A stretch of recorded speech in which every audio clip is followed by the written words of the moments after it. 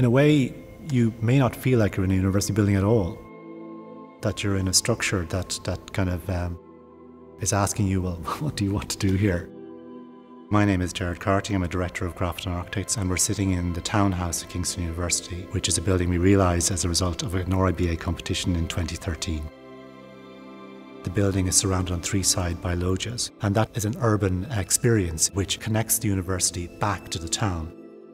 The university aspired to reveal the activities of the interior of the building to the wider public.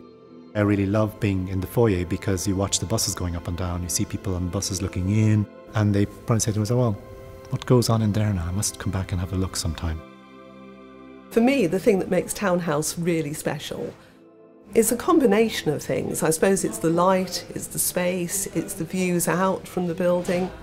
It's quite soft, I think, actually, for a building that is predominantly concrete.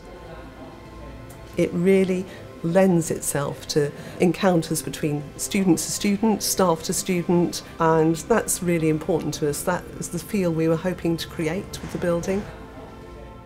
The ceiling has these specially made acoustic baffles which absorb sound. The wall panelling itself is kind of striated in this building, you have two different aspects a library and a dance faculty in the one space.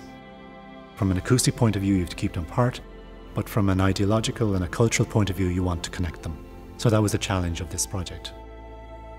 We've designed the surrounds of the staircase so that they're overlooked, so people can actually work there by standing at the edges overlooking the staircase, because there's something really phenomenal about people watching.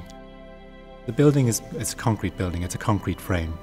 We have a thermally active system which allows the building to be cooled through that concrete. So not only is the concrete structural, but it's also environmental.